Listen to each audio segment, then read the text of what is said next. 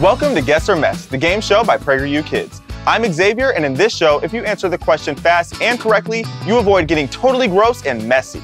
Joining us today, we've got Hudson. and Antonio. okay. Before coming here, each of you read our PragerU Kids digital magazine about Thomas Jefferson from our website. Now we're going to see how much of it you remember. Here are your messes for today blue slime, clam chowder, fish eggs in a tube, pickle juice spray, preserved duck eggs, snails, mystery eggs, hidden messes, and a pie in the face. Before we play, Thomas Jefferson was the third president of the United States. As a founding father, he was the main author of the Declaration of Independence.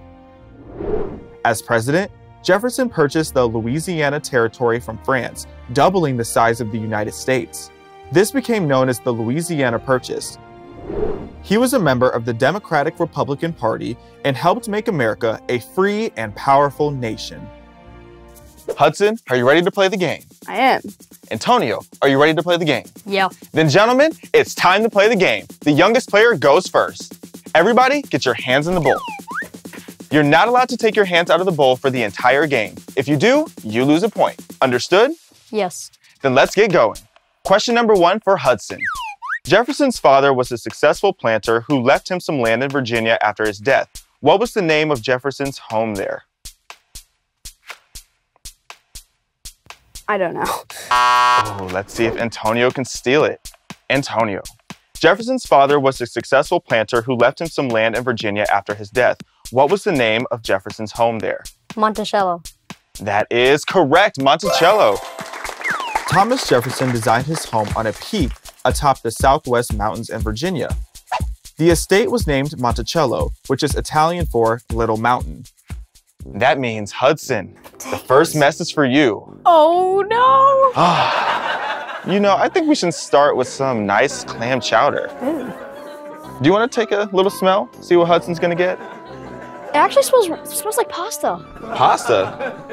Can I smell? I suddenly never want pasta again. It smells like pasta. It smells like tuna. Tuna? Do you want to smell like tuna? No. Well, I'm sorry, because you're gonna smell like clam chowder. That's close enough to tuna. That's why I wash my hands. Oh, Oh, my Oh. gosh! ew. Oh, oh. oh. Go ahead and mix that up just a little bit. Make sure, you know, That is get the full effects. There's nothing else coming out of it. Your hands are looking a little clammy. You feeling all right there? They're cold. Second question goes to Antonio. Question number two. As a Renaissance man, which means a man of many talents, Jefferson had several skills. Which of these was not one of his skills? A. Speaking multiple languages. B. Inventing gadgets. Or C. Competing in boxing. C, competing in boxing. That is correct. C. Competing in boxing. Thomas Jefferson was a brilliant man who studied many subjects archaeology, architecture, astronomy, botany, geology, mathematics, medicine, meteorology, philosophy, and religion. He spoke four languages English, French, Italian, and Latin, and invented a pasta roller, a gravity powered clock, a revolving chair, and an early copy machine. What is that? It looks like jello. Looks This- like, what is that? Oh, it's not jello. You don't want to eat this. Well, the key question for you, Hudson have you ever wanted to be a smurf? No. Not even a little bit. Nope. Oh, God. And three, two, one. Oh, what the oh. heck? Oh, a little bit up your arms too. you Oh, that, know. feels, that feels good. Does it? It feels amazing. How you feeling, man? Actually feels good. At this point, I'm not gonna survive. You know, put your fingers in there, turn it into Play-Doh or something. Oh, what? Okay, I'm done with that. Next question is for Hudson. Question number three. In 1776, Jefferson was a delegate for the Second Continental Congress and was assigned to write the first draft of what now famous document? A. Declaration of Independence, B. Bill of Rights, or C. United Nations Charter? A Declaration of Independence. That is correct. The answer is the Declaration of Independence. Thomas Jefferson was assigned to write the first draft of the Declaration of Independence. He was chosen because he could write clearly in a way that inspired people. The draft went through several edits after he wrote it, and the Declaration of Independence was approved on July 4, 1776. We still celebrate it today. Did you brush your teeth today? Um, well, I was in a rush, so probably not. we'll talk about that after. I think you should try some of this fish eggs and a tube oh, toothpaste. that is disgusting. Oh, oh, Oh look how gross that is. Take a take a little smell. Oh, that is terrible. Is it really that Ow, bad? that is terrible. it can't be that bad. it is bad. Oh, it's not bad at all. Oh, Just get down and give it to him. No, wait, wait, wait, wait, wait, wait. Give it to him. Tell my mom I love her. mom, Antonio loves you. Oh, ew. A little in your hair. No, no, no, please. No hair, no hair, no hair. Oh, What is ew. This is so gross. Oh, do people eat this? Get the whole tube in there. Oh my gosh, Oh. I spill it, I spill it. Oh, Oh, my goodness. gosh, Oh my gosh. Ew. We're all suffering right now. Except for me. I'm rejoicing. My dad would love this because he loves fish. Ew. Next question is for Antonio. Question number four. Jefferson became president in 1801 after an intense election. He soon doubled the size of the United States with which deal? A. California Purchase, B. Louisiana Purchase, or C. Alaska Purchase? The Louisiana Purchase. Dang it. Oh, that was correct. The answer is the Louisiana Purchase. In 1803, France offered to sell the entire Louisiana territory, which included land from what is now 15 states, to the United States.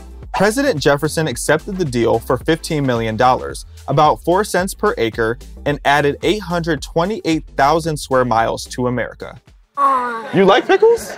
No, I don't like eating them, but they smell good. Do you like being in a pickle? Maybe. I kind of like the smell of them. Then have you accepted your fate at the hands of the pickle juice spray?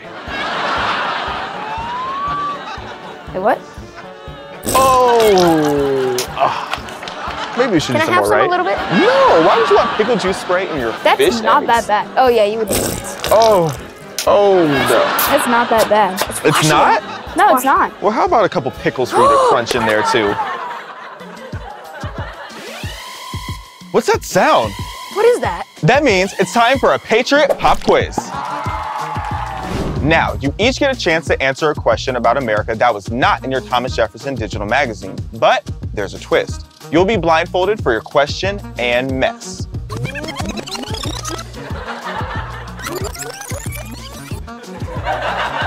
Patriot Pop Quiz question number one. What is the official motto of the United States? A. God bless the USA.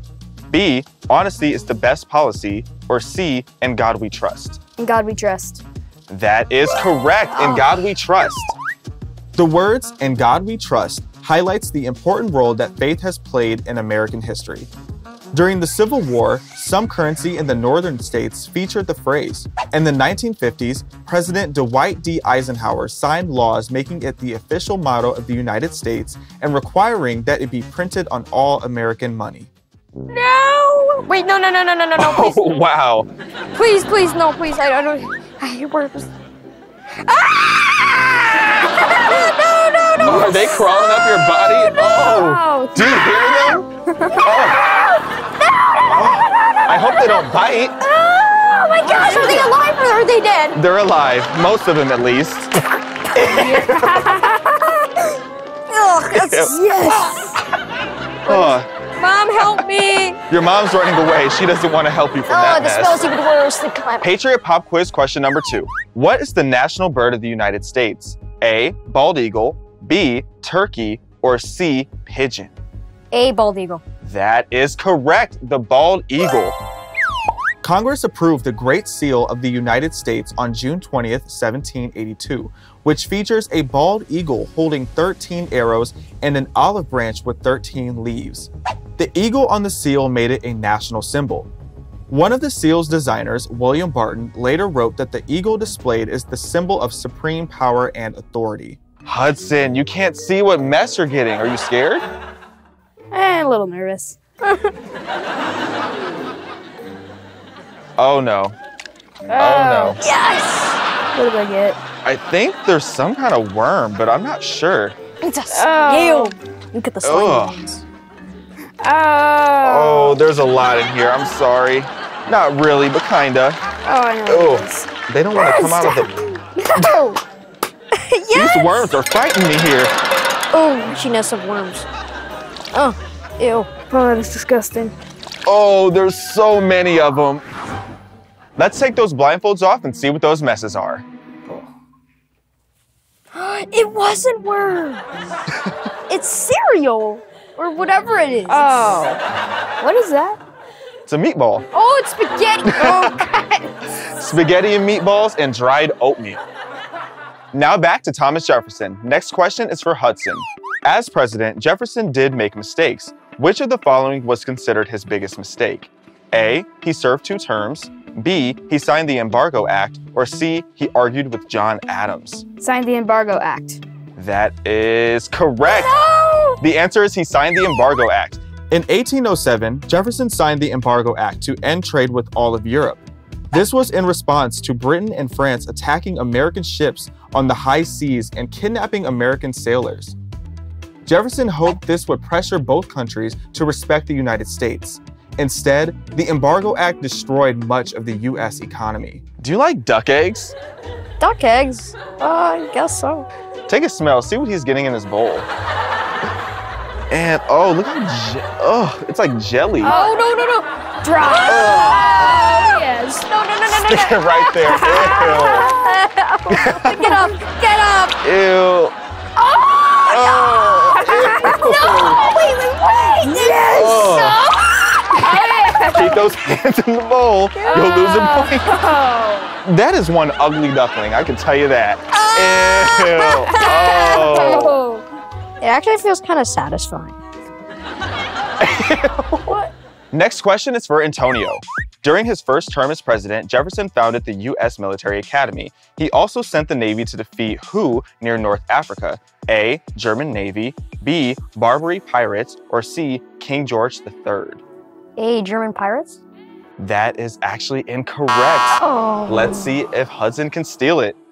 During his first term as president, Jefferson founded the U.S. Military Academy. He also sent the Navy to defeat who near North Africa? A. German Navy, B. Barbary pirates, or C. King George III? B. Barbary Pirates. That is correct. Oh, no. Before Jefferson was president, Barbary pirates would attack American ships and demand payment for safe passage in North Africa. During his first term as president, Jefferson sent a naval expedition to defeat these Barbary pirates. The expedition was a success, and other countries began to respect the United States more. Okay, look. Do you like mystery? I love it. You love mystery. It's so colorful. Do you think these are real eggs or fake eggs? Fake Did you eggs. paint them? Fake? Definitely. You're confident. so confident you want it in your hair. Not really. Do the whole thing. It's a glitter. Oh, If that's it's not gl- in my hair.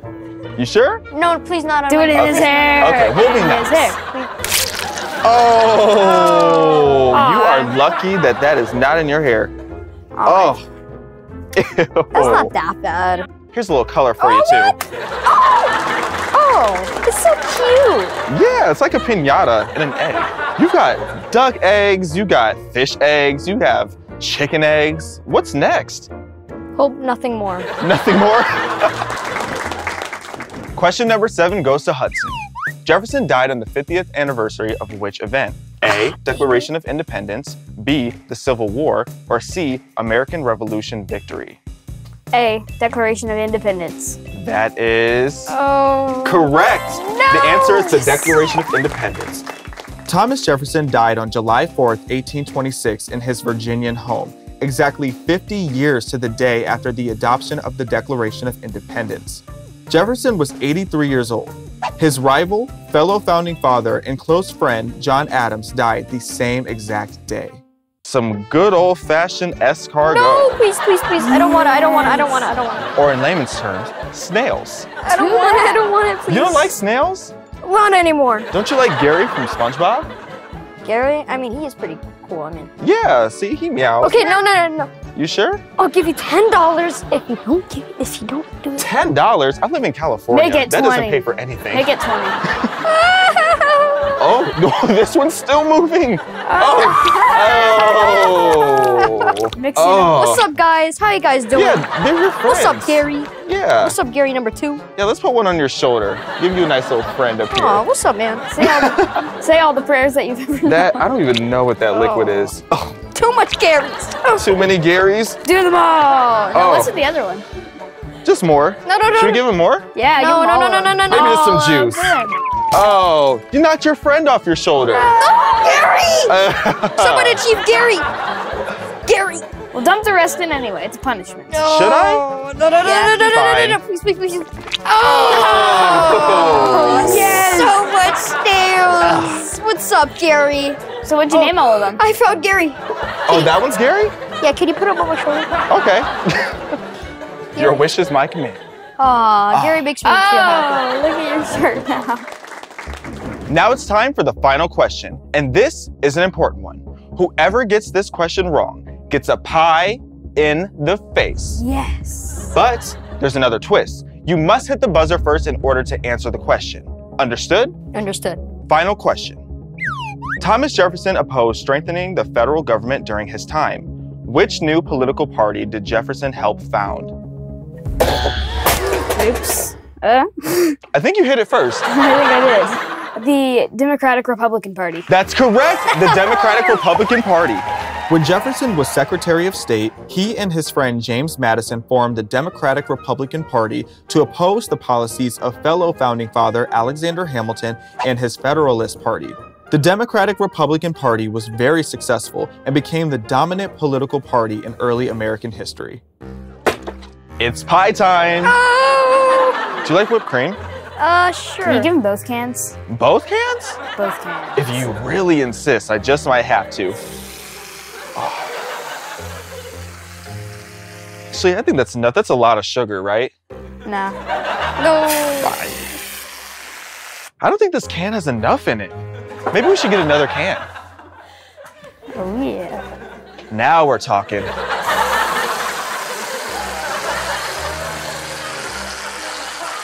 Oh, it's looking good, isn't it?